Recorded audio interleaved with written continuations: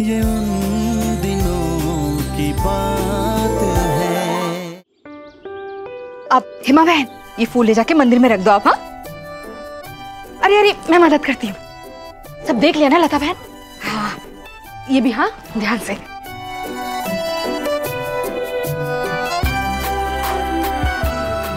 अरे राकेश बेटी का ब्याह है और तू मेहमानों की तरह बैठा है। चलो कुछ काम कर।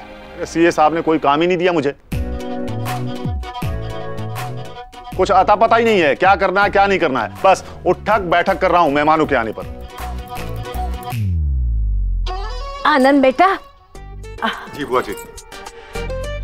बेटा तू जो कुछ भी अपनी भतीजी के लिए कर रहा है ना कोई अपनी सगी बेटी के लिए भी नहीं करेगा।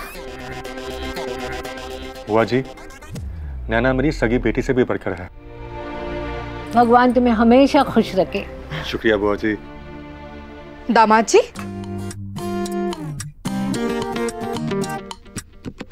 पापा जी नमस्ते। फुला बुआ नमस्ते। कैसे हैं आप?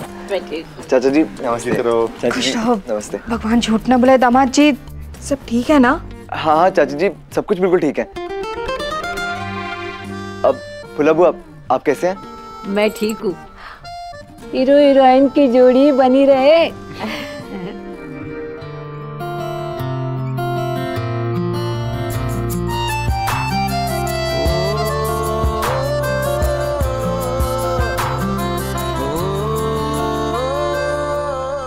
समीर बेटा अचानक कैसे आना हुआ? चाचा जी वो मैं कार्ड देने आया हूँ। भगवान झूठ ना बोला है दामाद जी। क्या है ना बेटा पहला कार्ड जो है ना भगवान जी को चढ़ाया जाता है हाँ? वही तो कर रहा हूँ। मेरे और नैना के लिए तो आप ही भगवान जी है ना?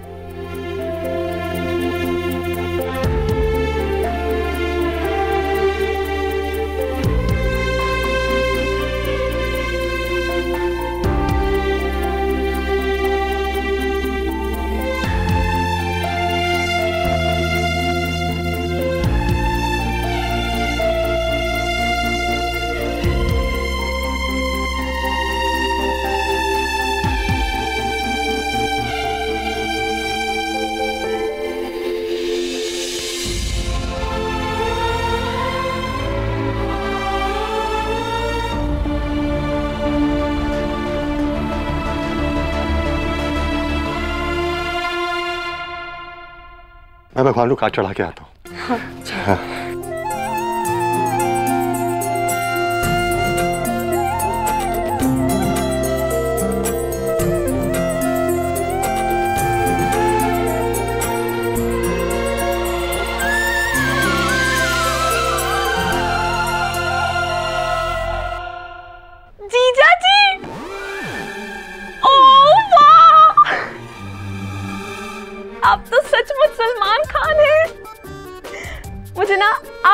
लड़का चाहिए।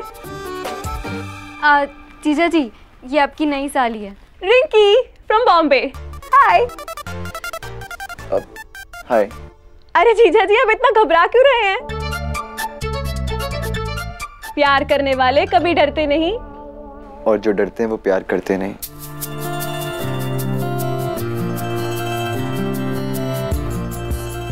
ओ वाह जीजा जी। वैसे एक बात बताऊँ मुझे भी ना प्यार हो गया है। आपसे।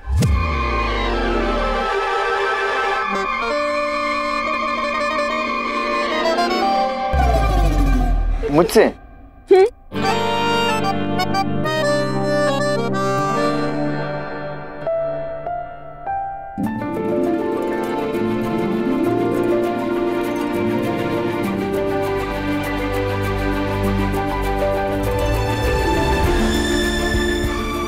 समीर बेटा, भगवान जी के बाद इस कार्ड का पहला हक बनता है नैना के पापा का। ये कार्ड राकेश भाई साहब को दो।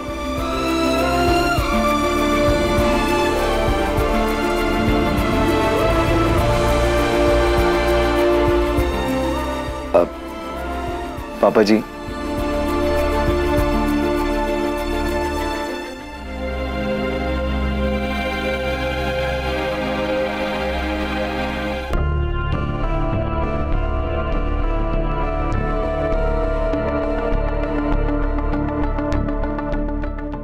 अरे राकेश बूझ बन के क्या खड़ा है? दामाद जी काट दे रहे ले लो।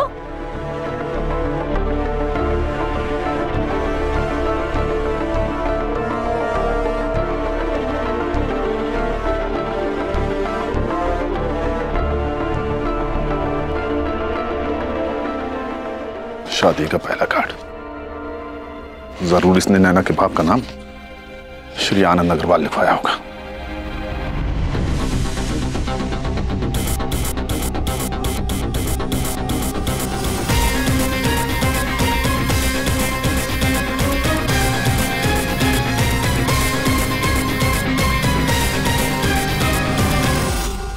समीर मुझे भी दिखाओ ना कार्ड अरे समीर नहीं कहते। जीजा जी बोल। नहीं मैं तो समीर को समीर ही बुलाऊँगी। ओहो ओहो। समीर।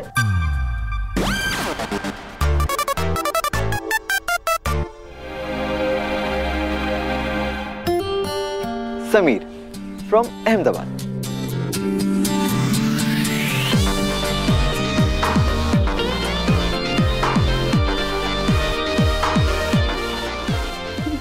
अरे भाई साहब कहाँ चले गए? जब काम हो ना तो बाहर चला जाता है और जब काम नहीं हो तो घर में बैठा रहता है। चाचा जी फुला बुआ मैं अब चलता हूँ। बहुत सारे काम निपटाने हैं। जीते रहो। चाचा जी जीते रहो।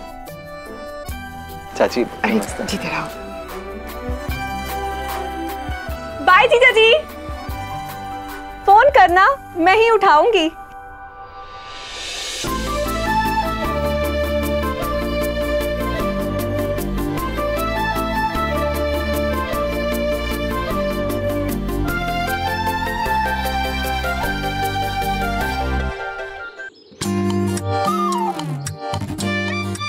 हाँ भैया गद्दे ऊपर लेके आने यहाँ पे हाँ? और बर्तन ध्यान से लेके आना सीढ़ियाँ थोड़ी तंग है। हम्म? आनंद। हो तैयारी करवा रहा था खाने की। अरे वाह बड़े ज़ोर शोर से तैयारियाँ हो रही है। बहुत बढ़िया। आ, लेकिन खुशी खुशी फीकी सी लग रही है ना? अपने साथ ना होना तो खुशी अधूरी सी लगती है। देखो आनंद बीना और अपने बड़े भैया के पास जाओ, उनसे बात करो। तुम एक बार जाओगे ना, उनसे बात करोगे ना तो वो शादी में ज़रूर आएँगे। पक्का? उन्होंने मुझसे खुद कहा है। हाँ। बुआ जी, मैंने हमेशा अपने छोटे होने का फ़र्ज़ निभाया है। उन्होंने आज तक मुझसे जो कुछ भी कहा, मैंने सब कुछ सुना, समझा, सहा, लेकिन आज नहीं। बिल्कुल भी नहीं। बड़ी अफसोस की बात है कि उनके बड़े होने के बावजूद उन्होंने ऐसी गिरी हरकत की। और तो और बेला ने उनके सामने अपनी झोली तक फैला दी थी। लेकिन उन्होंने बेला की झोली ही नहीं बल्कि हमारे मान को भी अपने पैरों तले दिया।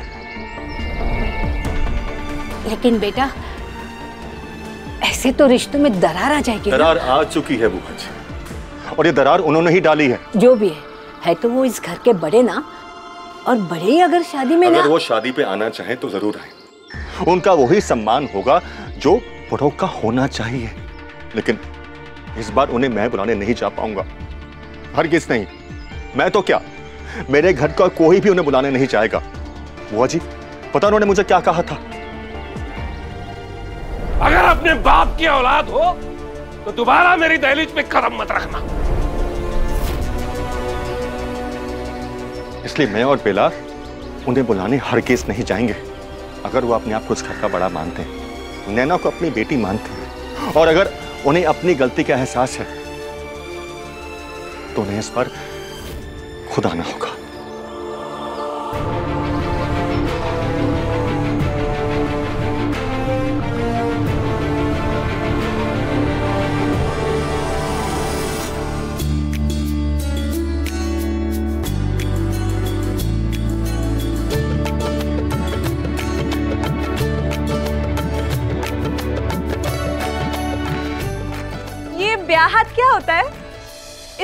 में लड़के वाले लड़की का हाथ मांगते हैं क्या? हाँ बेटा।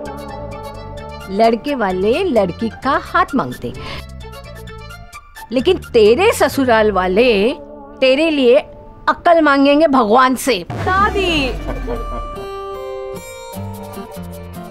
अरे बावली ब्याहत का मतलब होता है कि अब चाहे कुछ भी हो घटना हो या दुर्घटना हो कोई रूटे या नाराज़ हो जाए दुनिया इधर की उधर हो जाए। लेकिन ब्याह निश्चित तारीख पर ही होगा। ओ वाह मतलब रिलीज़ की डेट तो फिक्स है।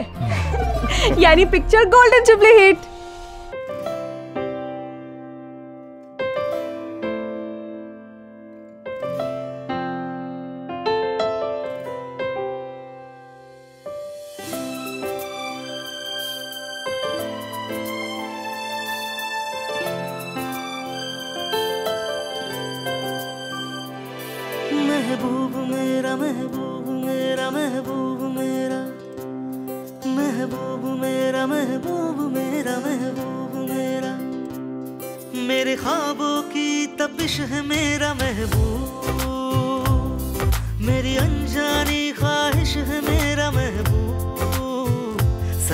सरगोशिया चुपके करे। दस्तक से दे दिल पे मेरा महबूब। मेरे ख्वाबों की तपिश है मेरा महबूब। मेरी अनजानी ख्वाहिश है मेरा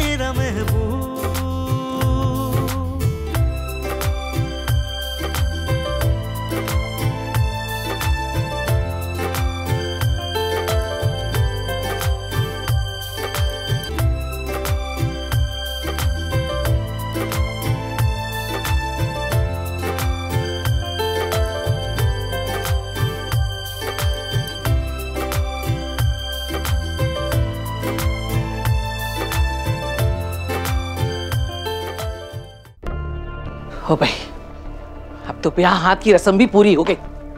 मतलब हम जाए ना जाए हो ना हो ये शादी तो होके रहेगी। और वो भी तेईस नवंबर को। हो भाई किसी का बुलाना तो दूर बताने तक नहीं आया। और आप क्या कह रहे थे? फुल्ला बुआ आएँगी सब ठीक कर देंगी। क्या खाब ठीक कर दिया फुल्ला बुआ ने? देख लो। ये आनंदी बहुत ऊँची चीज़ है। जैसे राकेश को अपनी मीठी मीठी बातों में उसने फुसलाया है वैसे ही लल्लो चप्पो करके उसने फुल्ला बुआ को भी फुसला ही लिया होगा। अब जो भी हुआ हो आप देख लेना। समाज बिरादरी तो हमारी ही खिल्ली उड़ाएगा। यही कहेगा ना बिन माँ की बच्ची और सगे ताई ताऊ जी शादी में नहीं आए? खर्चा बचा लिया अपना। यही कहेंगे।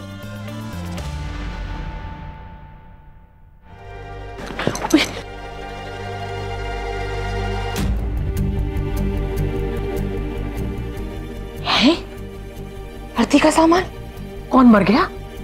ओ भाई आप कहा चले गए थे? हाँ? और, और और ये क्या कर रहे हैं आप?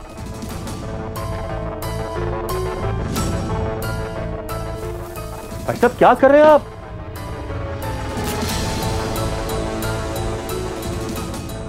क्या कर रहे हैं भाई साहब? अरे बोलना। हुआ क्या आपको?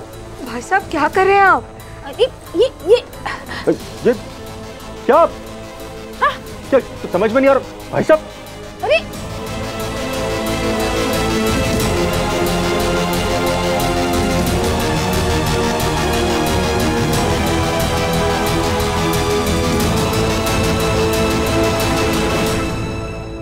राम राम राम का संदूक श्रीराम।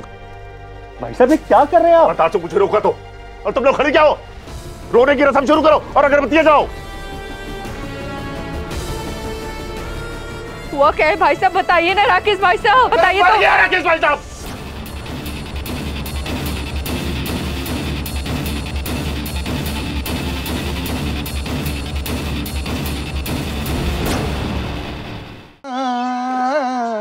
रवि नैना की शादी में इतने सब मेहमान आने वाले हैं तो चाचा जी ने कहा है कि दो वाटर कूलर्स और कुछ लाइट्स चाहिए। तेरा कोई जुगाड़ है क्या?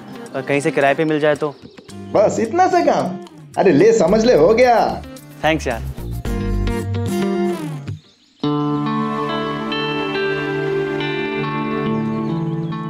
अरे अर्जुन भाई आज तो ये तेरे चेहरे का फ्यूज बल्ब चकाचक लाइट मार रहा है। सुबह छे क्या बात होनी है यार। सब कुछ वही तो है। वही नौकरी वही घर। तू तो बोल रहा था तुझे नौकरी पसंद नहीं है और तेरा घर घर काम चिड़ियाघर ज़्यादा है। हाँ नौकरी तो अभी भी पसंद नहीं है। लेकिन अब घर थोड़ा अच्छा लगने लगा है जूही की वजह से। ओ तेरी नई लव स्टोरी चालू? ऐसा कुछ नहीं है। ओ तेंदुलकर तेरे दिमाग से भी शेफाली का भूत उतरा नहीं हाँ?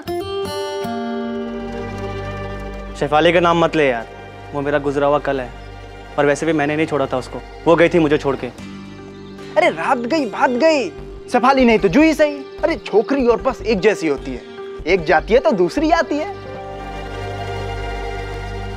पहचाना मुझे? ए भाई सूचे नोएल शेफाली का कज़न तुम और तुम्हारी सोच कितनी घटिया है सुना तो था मैंने। आज देख भी लिया। लीव इस कॉलर आई सेड लीव क्या बदतमीजी चल रही है ये? एक तो इसने मेरी बहन शेफाली के साथ प्यार का झूठा नाटक किया सबके सामने उसके इंसल्ट किया और अब ताली एक हाथ से नहीं बचती है। जितनी गलती अर्जुन की है उतनी शेफाली की भी है। सही कहा तुमने। ताली एक हाथ से नहीं बचती लेकिन अब इसको कोई हक नहीं है मेरी बहन के बारे में कुछ बोलने का। अर्जुन और किसी लड़की के बारे में उल्टा सीधा बोले। इम्पॉसिबल इसने तो कहा था ना। तो इससे बोलो ना अर्जुन को क्यों ब्लेम कर रहे हो? जूही ये ठीक कह रहा है रवि को ये सब नहीं बोलना चाहिए था। नोएल मैं रवि की तरफ़ से माफ़ी माँगता हूँ।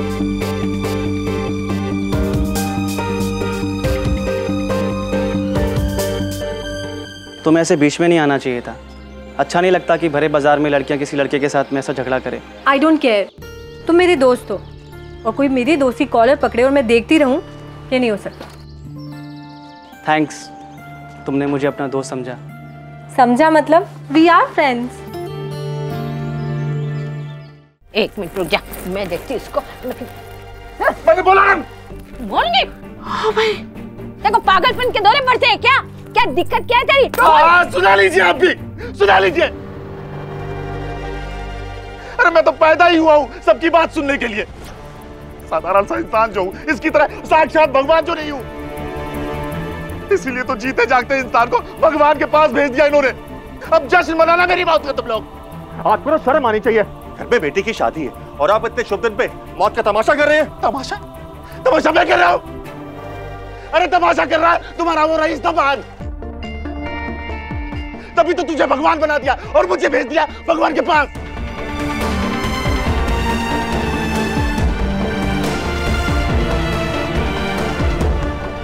देख, स्वर्गीय बना के। अरे पढ़ना। स्वर्गवासी बना दिया मुझे उसने। पढ़।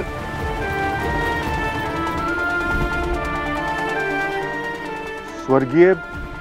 अरे ज़ोर से पढ़ना सबको सुनने दे क्या हरकत की है उस समीर महेश्वरी ने? स्वर्गीय राकेश अग्रवाल।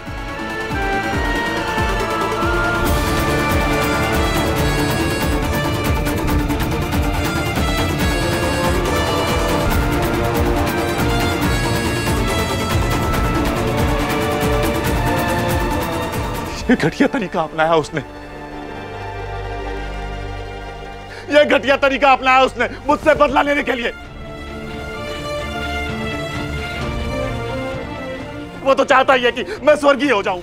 अरे वो क्या तू भी तो यही चाहता है, है? और तू मेरे बच्चों का सर्विस सर्वा हो जाए। भाई साहब ऐसी कोई बात नहीं है। आनंद तो बाप से बढ़कर काम कर रहा है आनंद तो प्रधान है इस घर का। अरे ठीक है भैया ठीक है। तुम ही बनो लड़की के बाप। असली बाप तो क्या बाहर वो तो स्वर्गवासी हो गया ना।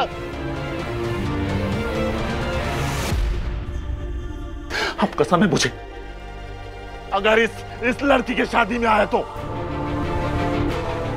तू ही करना सब कुछ। मैं भी देखता हूँ बिना बाप के ये शादी कैसे करता है तू।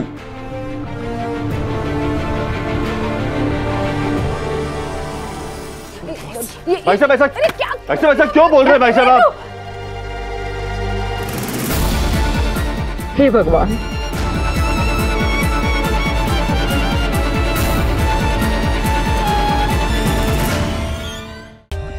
For more updates, subscribe to our channel, click the show links and enjoy watching the videos.